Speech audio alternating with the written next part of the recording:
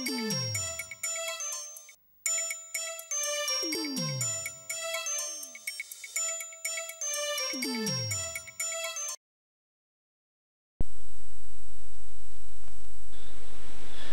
program is proudly brought to you by the Peel Dance Bar, corner of Peel and Wellington Streets, Collingwood.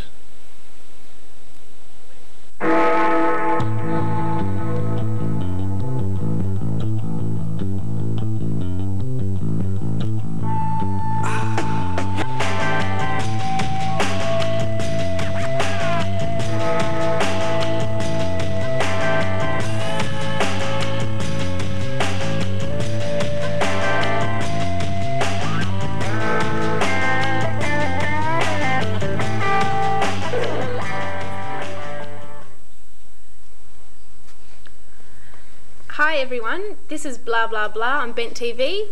My name's Michelle, and tonight we're coming from the Peel, live from the Peel. Um, we've got a very interesting show tonight. It's called Lesbian Health Such a Thing. We've got a very interesting lineup as well. We have Shelley, Lish, hey. Ruth, who's from the Carlton Clinic, Ruth McNair, Sally Goldner, who was the co convenor of Transgender Victoria and also does um, stuff on Joy Melbourne and also is working for the Transgender Working Party on transgender health issues. Right, Shell? And these two lovebirds over here are Jane and Anna. um, I'd just like to start tonight by talking briefly about do we think there is such a thing as lesbian health and is it different from women's health? Maybe you could start, Ruth, seeing as you've probably had quite a bit of experience in this issue. Yeah, well, I, I see lots of lesbians where I work, and I think there is such a thing as lesbian health. I mean, there are lesbians, aren't there? but yeah, really, I mean, there are things that are different for lesbians. One of the major ones is probably finding a health practitioner that, uh, That you can talk to. Yeah, and so you know, finding someone you can talk to who understands where you're coming from, understands some of your specific issues. Mm, and can probably talk talk about them and think about them in a bit more.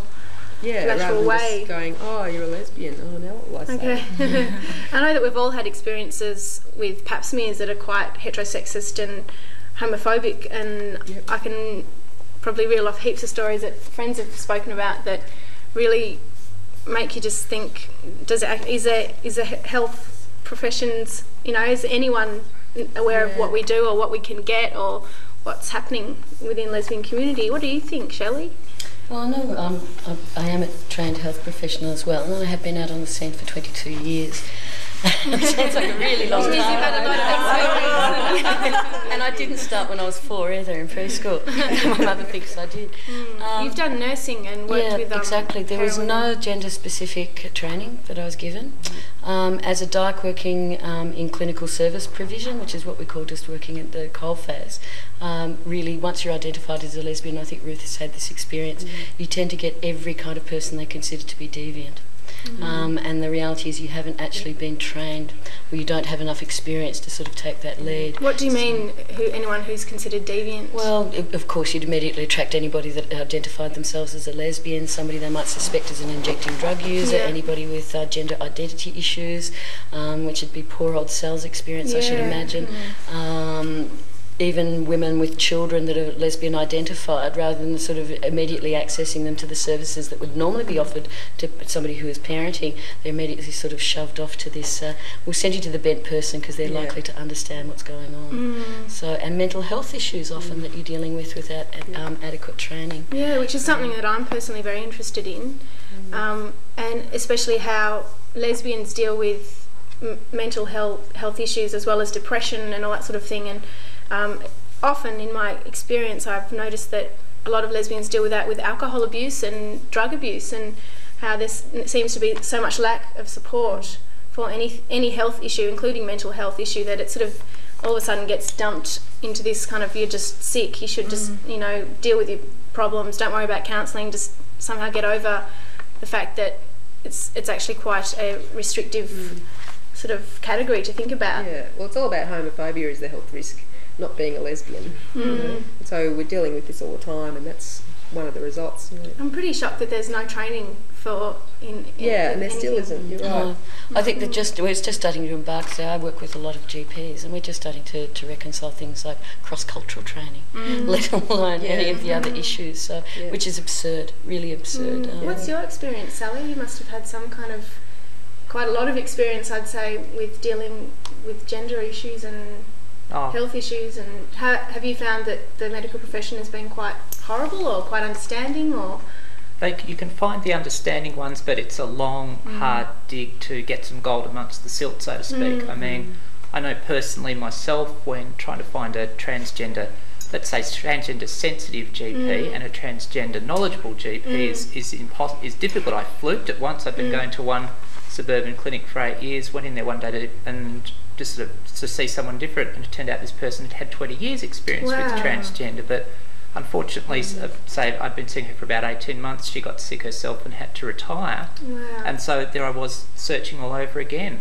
and ag- agreeing with what Shelley said. I mean, there is still virtually nil training, as I understand it, for GPs on all areas of sex and sexuality, let alone lesbian and transgender lesbian health. It's just, it's, it's zero. Mm. And so to find people who are knowledgeable, they've basically learnt through their own experiences. Shelley has, and probably Ruth has. It's a, it's a, it's a really difficult thing to do, and of So course, how do you fluke that, or how do you find that? If you if you're hoping not to fluke coming Yeah. across someone who can understand your problems, mm. like how do you go, actually go about finding someone like that? Or combination of word of mouth and the mm. support groups. I mean, the support groups like Seahorse Club of Victoria for transgender people, uh, transgender liberation and care build up knowledge of people who are who are sensitive to the issues, mm. who do have the knowledge. And mm. okay, you, you get to talk to them and either talk to the, the committee members of those clubs or the individuals themselves, and that's a mm. great start. But it's again, it's you've got to dig for it. It's not just like you can walk into your local clinic and talk about these yeah, issues. exactly. That's how I think all of us have found out about lesbian doctors and Yeah. GPs and stuff. like I know Yeah. that I've found out ab- um, through friends who have had experience and done stuff like that. What do you guys reckon? Oh, I think um, you've got the adults who are having problems trying to get this whole thing sorted out. I mean, think about the kids. Yeah. Like the Yeah. kids, are, you know, Still they're, being they're getting trained in, um, you know, safe sex and all this kind of thing, and you know, it comes to anything to do with a lesbian or gay, and what, what do you do? They're sitting there going, I have no idea. So I guess it's about training across the board, like sex education in all this- like across the Sorry. board of in schools and unis and Yeah. everything like that. there's no resources left for these organisations. Like you know, like you were saying, you know, you get thousands of women, you know, mm. lesbians, but mm. there's no facilities, there's no services. Like, and what services there are, they're so underfunded that you can't actually deal with, you know, mm. the problems that are there. Like, you know, the high schools are still dealing with safe sex, hetero safe sex, and that's just condoms. Like, and that is so, you know, directed I guess towards it's- the male. It's just, you know, It's about not wanting to accept that kids have sex, Yeah. let alone something that's not heterosexual. So I guess I think I find it really amu- well, not amusing and distressing, I guess it is, or, or, or just bizarre, that um, we're not taught a broad range of sexual education. It doesn't really need to be particularly uh, sexual orientation specific because I would say heterosexuals are just as likely to engage in oral sex, anal penetration, vaginal penetration, um, the, yeah, the whole gamut of things. And I, I really don't understand why people can't just accept it's part of their general education on how their bodies work.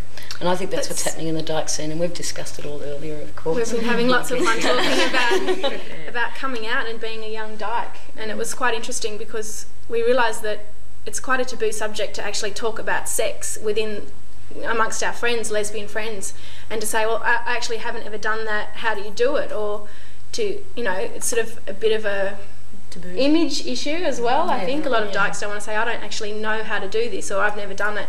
And it's all about, you know, we've never been actually taught. So how, how are we expected to know? But we've also not been encouraged to know our own bodies, like as mm. women. And that's like, the real issue, We're I removed think. from it. You know, we aren't. You know, it's like we don't actually have sex. We don't. You know, like We don't menstruate, us. we don't- It's like it's all clean and clinical. Yeah. I take that further. A a friend of mine who I met through Lifeline Counselling, she went on to do social work up in a northwestern Victorian rural area, and she was taking year nines on what I think most people would consider basic birds and quest, que- bees mm, questions, mm. had a really good approach. He said, rather than ask the questions in front of people, let's put them in a hat, make them anonymous, then we'll draw them out and I'll answer them. And some of the questions were so basic, like, you know, sort of, Yeah. do you, do you, how do you put a condom on or something? It was like, so if that's, ru- you know, if, if we're having this trouble in the inner city with the so-called resources, what are the people in New Mildura's and Orbosts doing? It must be even worse. Yeah, and, and uh-huh. definitely things like thinking about within like inner city amongst our friends even we have trouble discussing this kind of thing. You know, how would it be for a young gay or lesbian who's coming out in rural Victoria, as you said, like to, to even think about something a bit more, you know, full on, like how do we do it or how do I do it safely if I want to do it? Well, exactly. And I live in a country town, about four hours from um, Melbourne when I'm home. My actual job is working all over rural Victoria with GPs on drug and alcohol issues. And I can tell you it's, it's really incredibly difficult. Most of those kids will end up in a regional city or in Melbourne, but bereft of any form of support. Um, it's, yeah, all sorts of things. Like, you, you- we've even got young lesbians who are ending up pregnant because of mm. sexual assault in country areas, mm. who are terrified to go and consult a GP in their own town to talk about sexual assault and its impact on them with their emerging sexuality. Mm. So, And that's a very interesting thing that I've even had experience of personally is um, sort of talking about sexually transmitted diseases or pregnancies or sexual assault within the lesbian community. It's like we don't actually want to Acknowledge it. admit or acknowledge that that you know lesbians are prostitutes and lesbians do use drugs and lesbians do have sex with men and how are we going to negotiate that within understandings of sexual identity? And um, sort of how do we even start talking about that sort of thing when it's not even acknowledged amongst us? And Yeah. it's sort of we don't have any experience in that Yeah, well, I think it just has to start with us. And we just have to open it up and just start talking amongst ourselves and doing this kind of thing. And I mean, we just found out so much just outside. having a yeah, we did. We were sitting there kind of "Ah." discussion you know, we're just doing what we typically would do. We sit there and go, yeah, kind of, we know what we're doing. and, and then everyone's talking, we're going, hey, you know. we actually don't know what we're to the older women around town. and it's and it's to think about um, the way we don't know how our bodies work. Like talking to Shelley before was very interesting because I've actually got such a minuscule amount of information about my own body that it's kind of amazing that you know it's sort of not taught like that. But we've got to go to a break, so I might think of talking about this when we come back. This is blah blah blah on Bent TV on Channel 31, and we've got lots and lots and lots of interesting stuff to talk about when we've finished doing this. See you soon. This is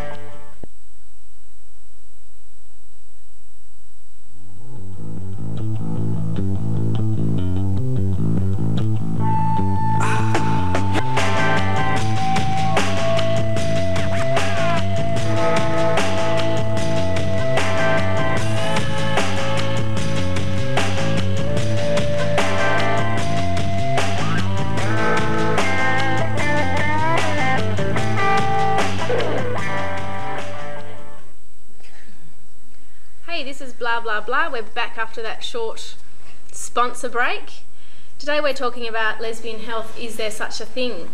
Um, and we've been talking for the last 15 minutes about stuff, and I really want to talk about safe sex now and um, the vagina, or should I say it some other way? It's a bit hard to know. Um, firstly, I'd like to start by asking everyone has anyone ever used a dental dam? no. No. Yes. yes. No. No. No.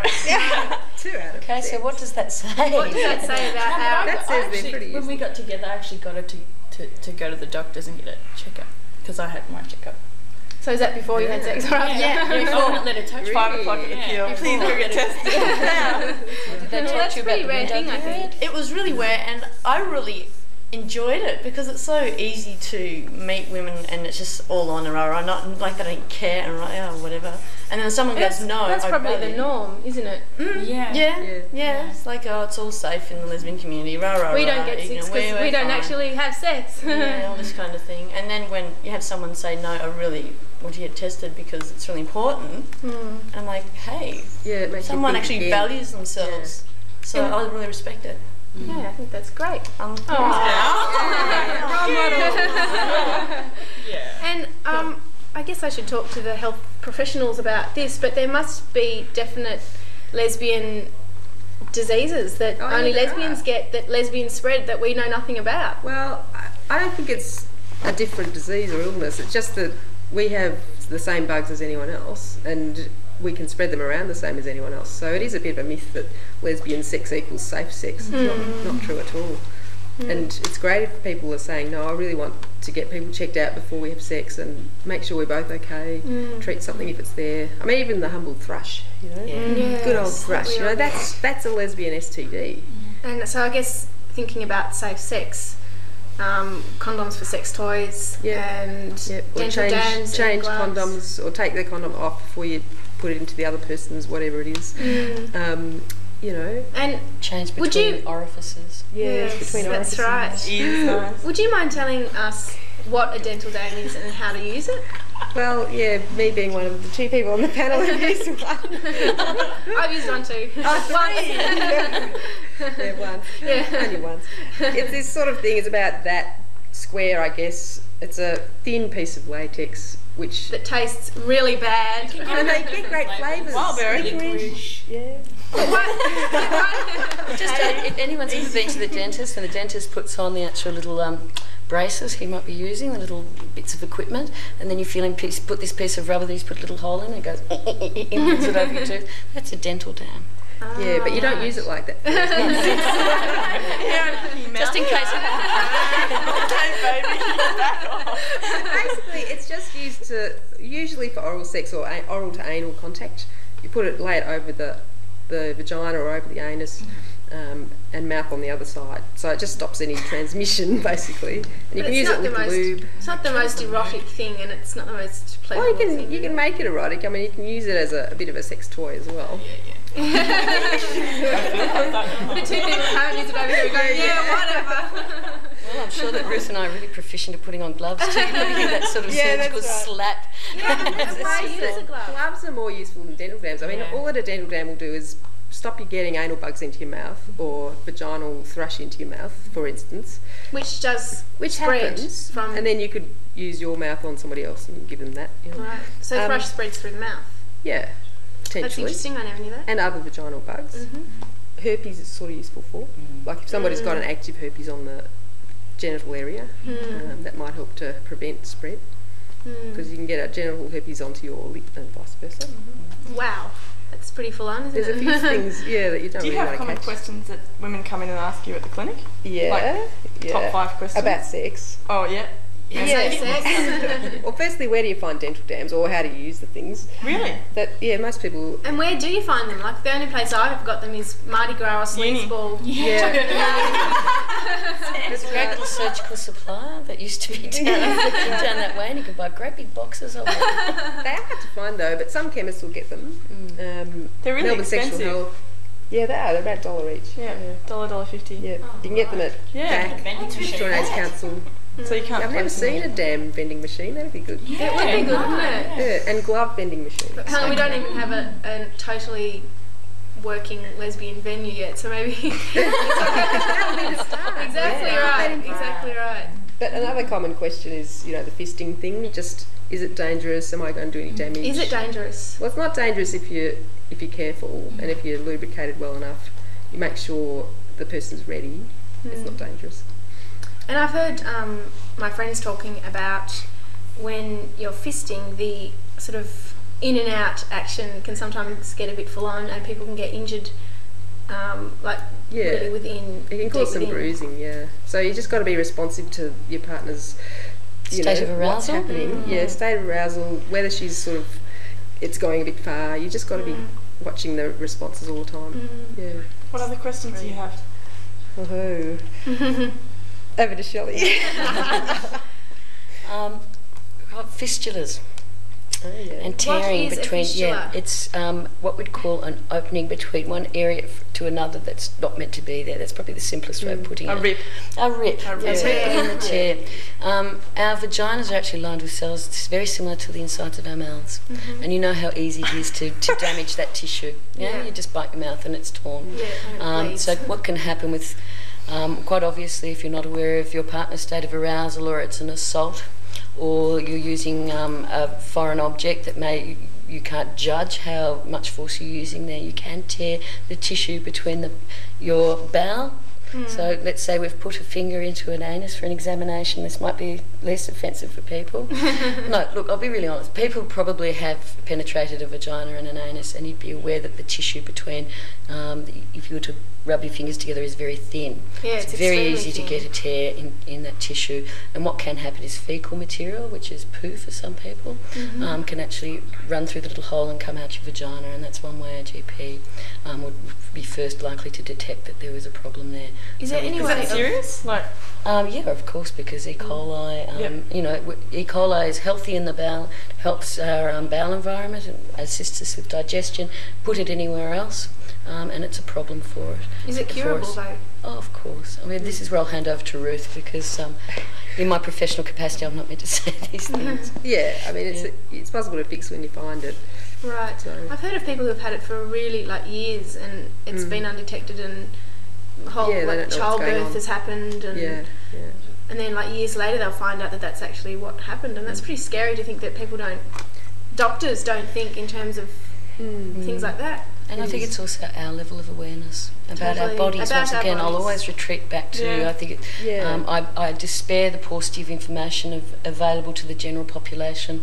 Um, I also appeal to heterosexual mothers and fathers who have children who are gay. For God's sake, we do need to talk about this on air, whether it's palatable or not. Yeah, that's Um, exactly right. And that these are the bodies we all walk around in for the rest of our lives. And I think one of the biggest health is- issues for lesbians is the fact that we don't know what our bodies do and how they work and how to prevent things and how to encourage things and um, that's where I guess education comes in really Mm. is really important within schools and within universities and within professional realms. I I'd also- No, I'd also really like to talk about babies and lesbians and they keep trying and they're just not They just successful. keep trying. They just keep trying.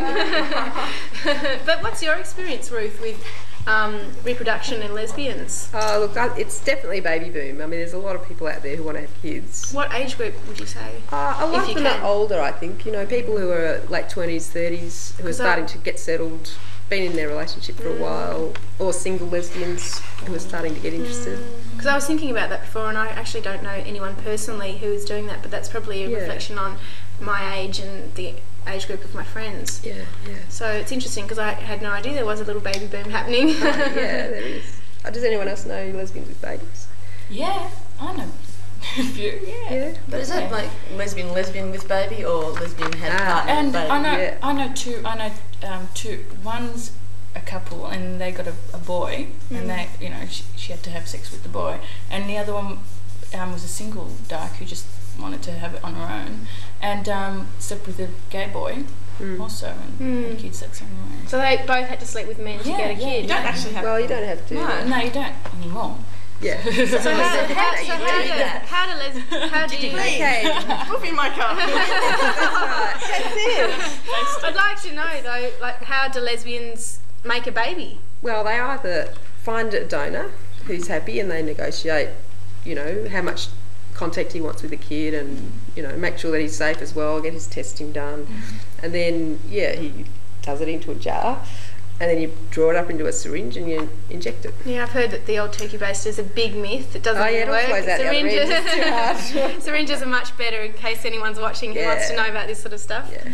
And it's simple, it's the simplest thing you could do. You just, boom, So what if you it. don't want to know who the father is, or you don't want an, a man who Yeah. to do that? Well, there's two ways. I mean, lesbians used to, you know, in the 60s, 70s, used to have an intermediary, so somebody who could find the guy for you and then transport the sperm. That's, I don't think it's done that much now, but it's also a bit dangerous because you can't negotiate directly No. with the guy. Yeah, and you So- can't ask sp- specific questions Yeah. and talk about specific things. And a lot of guys want to have contact with the child now, so they, Mm. they really want to be involved. Yeah. Lots of gay men who, who are having babies. It's Yeah. far more acceptable now. Like when Yeah. it came out, I think it was it was a big leap uh, for the older women that I was um, seeing or associating with. Didn't re- like me living in a house with men, let alone. I You guess know, that's the, Yeah. it is the whole sort of stuff. stuff. maybe yeah. that's the whole change in the way feminism is influencing lesbianism, or is it that kind of thing? Lesbianism But is we're- influencing feminism. yeah, maybe. But we've got to go to another short break. And when we get back, maybe we'll talk about interesting things like what happens if your baby is straight and what you do about that and all that kind of thing. But this is Bent TV and this is on Channel 31 and we're blah blah blahing away. We're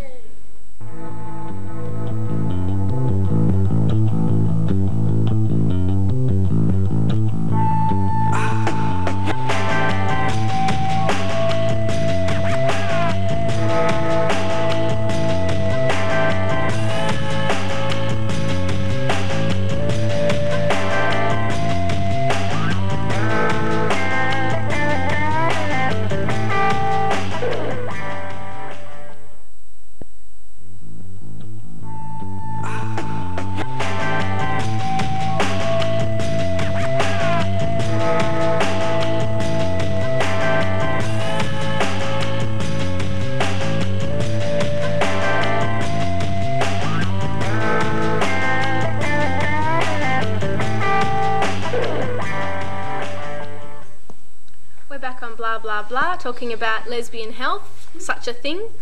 And I'd like to start the last segment talking to Sally about, um, I guess, for all of us, knowing about our own workings of our own bodies is hard enough when we were born into them and growing up in them. But what about um, your experiences of having a vagina that is, is constructed, and are you taught how to use it, or how do you learn, and what, what are your experiences Well- to launch straight into it? Put you on the spot well, a to launch straight into it, I mean, there's, there's so many things you could answer that. I mean, let's start by saying male to female transgenders are just as sus- susceptible to breast cancer as genetic females. Mm. But does anyone stop and think to tell you how to self-examine your breasts and what sort of tests to Mm. That's do and, true, and where to go? Mm. And they're also, in terms of a vagina, is it as lubricating as a, as a natural vagina? Often there are a lot of problems. Mm. And in terms of the fact that it, it is constructed, it Mm. can be different, and it can be it can have less depth than a, Mm. na- a natural um, genetic born female vagina. So there's mm. all these sorts of issues.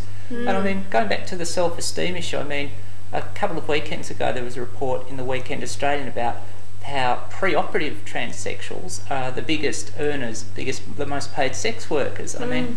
I mean, if okay, if they're- those people are happy doing that, fine. But we talk about self-esteem and the worries that that must cause for, let's say, non-sex workers, for because people say, okay, you're only a freak value. We don't want a real relationship with you. We just want to bonk you. Yeah. Um, and and health issues involved in that as well. Exactly. I mean, you know, sort of so, okay, the, the, the spread of disease, the, an infectious disease is one thing. The low self esteem because, you know, people say, well, you don't fit that gender box. I'm monosexual, either mm. gay or lesbian or heterosexual, mm. so you're a freak value, but I just want to have sex with you. It's, it's um, and people are desperate, that sort of mm. thing. So there is that high risk risk of, um, you know, sort of of sexually transmitted disease, and then of course there's the, the mental health issues as well. So there's there's Which mountains of things. in Very important as well as Yeah. sexual health. Very, very much. And another one, which may seem interesting, which would be Ruth and Shelley's thoughts would be interesting. If someone who, for all intents and purposes, walked into your surgery and said, I'm female, but said, I need to talk to you about prostate cancer for myself because the prostate is not fully removed in surgery, and of course, nothing changes if you're not having surgery. It'd be like, how would your average GP deal with that uh, out in the suburbs or out in the country? I mean, you know, They wouldn't, I don't think. That's right. They sort of go, the, uh, well, the psychiatrist room is next door. Do you want to talk exactly. about them because right. you're a Looney Tune? Yeah, I mean, that's pretty much the attitude you'd get. And there have been sadly too many stories of transgender women getting that sort of treatment. One transgender person went into hospital for, well, not, not nothing to do with being transgender, But they asked, "Have you been at this hospital before?" And that was when the person was a male. She got put in a male ward. Oh my god. So I mean, this is the so sort of ignorant, surrounded absolute- by such ignorance. absolute ignorance and the sort of discrimination. So certainly lesbians get it, transgender lesbians, tra- all transgender women, very much in the same basket. How many um, transgender people do you think are lesbians? I think it's an even spread. So say I say roughly twenty five percent. Some would identify as transgender lesbians, male to female, um, attracted to women. Mm-hmm. So twenty five percent straight, twenty five percent probably bi in some balance, mm. but twenty five percent are also a- asexual. This the mm. whole experience of what they go through can just be so mm. um, debilitating in a way that they just get turned off from relationships. So that, in a sense, is a health issue. The fact that they won't have be love and be loved as anyone can have in a relationship is a loss in itself. So there's a lot of issues that transgender people face that although there's some good research say from the Netherlands which mm. does good work, there's also a lot of stuff that just is totally unexplored and needs to be mm. looked at and tried to mm. get on top of it. A bit like lesbian health in general, I reckon. Um, I'd like to ask everyone, hypothetical, what would you do if your kid was straight? Lish? Have I got a kid? hypothetical. I don't know, something I was thinking um, the other day. I, I thought, what if I'd had a child, let's say I'd had a son, I think he would have been butcher than butch, but he would have had all his camp uncles. So, I mean, I don't know anything, or, or with a girl, it's funny, I said to someone the other day, you know, uh, when people are frightened about you talking to people, young people in schools or services, you know, the fact that you could be promoting lesbianism or being a poofter or bi or a transsexual or what. And I said, really, look, I just deal with sexuality as it is. Um, I wouldn't want to impose my expectation of their sexuality. It's something that'll merge. I think I was pretty lucky that I was born sort of almost knowing that I was a dyke, so I, I didn't have to quite suffer the same sort of career path in to developing an identity. So yeah, and, but then I wouldn't wish on anyone to be a marginalised anybody. So you exactly know, right. I think- it's a hard one. There's my wordy response. Yeah, I mean, I reckon that the kid thing is hard because you'd be hoping to have a, a gay or lesbian kid because Yeah. you know about it and you're going to support them through it. But Yeah. even more so to have a straight kid who would understand gay or lesbian issues more than most is Yeah. fantastic. So, Yeah, exactly. It would be almost like for the they—they'd have to come out to you as being straight almost, wouldn't it? yeah, I'd hope they would become the Minister for Health. Yeah, exactly right. Exactly right. yeah. About you guys? Oh, oh, oh, it'd be good oh, oh. because I don't have to have grandchildren. No, well, hopefully we'd get to the point where they could have kids as well. yeah. Uh, look, I wouldn't give a fluff Yeah.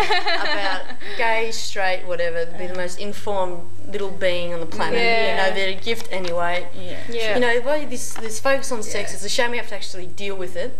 So I just I, I don't care. Wouldn't yeah, a- exactly right. Yeah.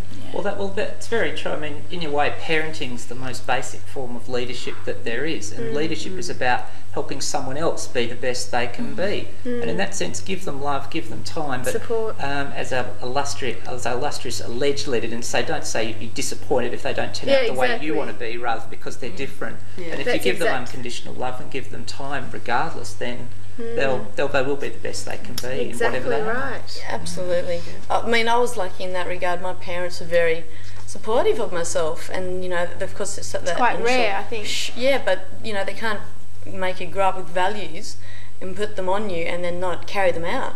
So they're mm. like, oh yeah, they've got that sort of transition or gay or whatever, but they mm. go, hey, you know. Yeah, we sort of put that out there, so we've got to do it now. And I, I was, you know, I was, I was lucky, I guess. On your mic, on your lead. Sorry, I had to do Sucking up, sucking up. Would everyone um, mind sharing with everyone else um, maybe your first experience of lesbian sex or lesbian health or awareness of lesbianism or something that you know might be pertinent to someone else who's going through that right now that you know they might enjoy hearing about? yeah. No, you can start. I didn't even know what to do. Yeah, well, I oh, look, no, I didn't even know what to do. I just sort of went, oh. yeah, I know quite But a then few. you, like, that was just before because I was freaking out about it, going, oh, I don't know what I'm doing. But Did then they know I that it was the first time? Oh, yeah, like, because I was really young and Yeah. um, she was a lot older. Yeah. Um, but then like just doing it was just you know it's like wow. You just get into it. Just Do know what anything feels as long as it's consensual. yeah yeah Yeah. Uh-huh. Yeah, I had I came out pretty late, so I'm working in my clinic, right? And I'm thinking, I think I'm lesbian. it took me a while, and then I get this patient come in who I'd never seen before, and she said she sat there and she goes, I think I'm a lesbian. Interesting. Later on, she became a friend of mine, so she reckoned my pen went. Yeah. I was trying to go, oh, that's nice. what about you? I can remember looking in the mirror the next day to see if something had changed because I was a nice Catholic girl. as a virgin, I was somebody's a, a girlie's thirtieth birthday present, as it turned out. Um, it, I took to it like a duck to water and was accused. Oh, look, I, once I, dec- I declared I've never done this, and she said, "Oh, that's okay. A lot of women have never slept with another woman." I said, "No, I've never done, done this," and Wow. she froze.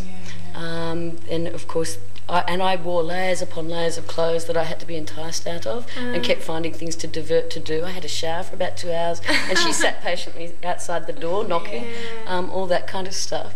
I think the thing that was disconcerting for me was the next day when a whole group of women started to crack jokes about whether I could walk, and it suddenly mm. became something really grotty and dirty and mm. kind of unpleasant. And then I think the expectation was that you were meant to be handed round the old dykes on the scene, a bit like a, mm. a fresh meat platter. So that's something I would never wish for someone. But I, I didn't feel like I'd had a rotten experience. And the other day I saw that person on a doco about Queensland and laughed, and my current lover went, "Oh, she looks like an old lady." it was fantastic. Sweet revenge. Yeah, it was pretty okay for me. And I, as I've said, when I came out, um, because I didn't fit the stereotype, it was my gay and male friends, and they taught me the most um, about sex. They were the most supportive. Um, they even started to tell me, give me that lovely little sea liquor name, and said, "Are you an accomplished it?" And even took, I know this is, sounds pretty gross. Some of them were nurses. Actually, took the time to sort of give their physical rendition of what they think should go on. So Mm, I think I was I really, really lucky. Really lucky. We all need friends like that when we're coming out. I think. What about you, Lish? Are you willing to talk? I think I was pretty young, and I didn't really acknowledge that it was something until I got with my first girlfriend and went, "Hey, that what ha- what happened when I was five was something that wasn't just that this girl was picking on me. That was really good. Like, yeah, Yeah. but I don't know. Yeah, it's sort of. I think a lot of people have trouble realizing that what they did as something they didn't even recognize as something lesbian. Yeah. Like years later, they'll go, "Oh my god, that was years ago, and I did it then, and I didn't even know what I was doing." Baby doe. Anyway, I'd just like to thank you all for coming on the show. It's been heaps of fun. I've had a great time. I hope you have, and I hope you have. And thanks for having the courage to have this topic, Michelle. Yeah, Good one. yeah, it's a good one. Um, this is Bent TV, in case you've just joined us, and we're finishing blah blah blah. I'd just like to say um, that if you want to get in touch with us, we are PO Box 1414 Collingwood 3066, and our phone number is 9419 4745. And we've got stuff for sale like caps and t-shirts, um, and you can join us and support us. Support us. You don't have to be an active volunteer or be doing anything, but your money can be very handy. Um, the, for- the form is on the website, so you can look at that. Um, there's an auction on the 18th of March um, at the Yarra Street Fair, so come along to that. We're just about to go. See you next week. Yeah. So, Oh, yeah.